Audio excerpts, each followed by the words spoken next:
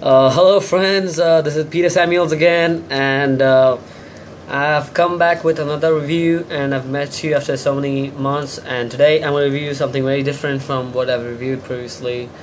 Uh, previously, I've reviewed uh, many uh, Victorinox, you know, Swiss knives, and a few watches. But today I'm to review a watch, but a very different one. It's a Swiss watch, but very different from the Victorinox, and it comes in the premium sector. In fact, the luxury sector of the watch market. This is the uh, new uh, Rolex Submariner, uh, which is a synonymous name in not only in the Rolex house but uh, all of the all over the world. For in fact, in the watchmaking industry, for the uh, uh, for in the diving watches sector. So here it is, the one which I picked up. The watch. This watch is in gold and uh, stainless steel and the bezel as you can see is in blue and some markings are in gold uh, and inside it it's in uh, the the markings are in white color and the hands are in gold. So this is a beautiful Rolex. As you can see then there's the magnifier date magnifier which is a iconic uh, signif uh, significant feature for Rolex watch. Uh, today is 11th as it's showing then uh, this is the uh, screw down uh, crown uh, you know and the unidirectional rotating bezel which is you know synonymous with diving watches and you know very synonymous with the Rolex obviously Rolex Submariner and uh, Sea Dweller series. Uh, the difference between the Submariner and the Sea Dweller is Sea Dweller is a thicker case and more the it's the case size is more and there's no magnifier for the date and uh, but the features are almost the same and it's more water resistant so it's more for extreme diving compared to this. I'm going to show you by wearing my watch hands on you can see the beautiful watch the beautiful automatic movement by Rolex the sound crisp sound of the unidirectional rotating bezel well, for those of you who are novices here in the watch uh, for diving watches, this is actually used for timing the dives, for timing the oxygen. For example, I started my dive at, uh, uh, you know, here at uh, uh, 550 so and my oxygen time is 20 minutes so it'll end at uh, 615 my dive time should end at 615 here. So I'll know my oxygen is, is running out I'm running out of oxygen so I'll come back to the surface so it's useful for that. But I love this feature. You can play with this. And uh, I do dive so I do take this watch. But probably I'm gonna I've gotta say that most Rolex owners won't uh, take their watch for a dive or maybe even for swimming or even for they won't even wash the hands when uh, this watch is on. They'll remove it and wash the hands as you can see the logo is there on the safety uh, clasp I mean the safety lock on the clasp uh, here uh, here you can see the Rolex logo then the, the there's uh, this is in gold and this part is in stainless steel. As you can see here right here beautiful watch excellent. Then the sides of the bezel are are made of gold. I'll open it and show you the watch. It's very it's made to fit and you know I just picked this watch uh, a week back uh, last uh, Saturday, uh, I was actually passing through a, passing by a Rolex boutique here, and I just saw this watch on the show, and I just decided to go in and check it out, and I love the watch, and I, you know, I absolutely fell it, fell in love with it, and it was love at first sight, and then I uh, gave them the money, and they delivered it in uh, two to three days at my house.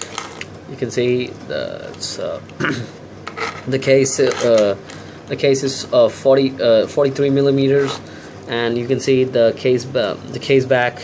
As you can see there's nothing written. Actually there was a, a, green Rolex sticker but I removed that.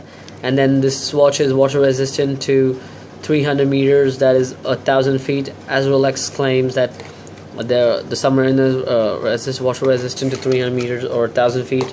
And it's uh, written here uh, wait I can show you that it's written here. Uh, here written Rolex Submariner Oyster Perpetual date. Uh, 300 meters, 1,000 feet, water resistant, officially certified, uh, and all that, all those things are here. And then I can show you the screw down crown.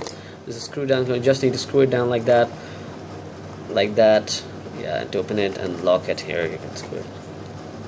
You can hear the crisp Rolex sound, the crown too and you can see the smooth movement of the autom- of the second hand in the Rolex autom- that's the Rolex automatic movement. Such a smooth movement. I mean I absolutely love it. It's a brilliant movement. Uh, yeah.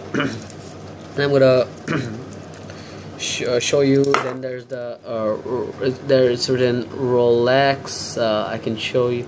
It's written uh, Rolex right over here here. It's written Rolex. It's written Rolex right over here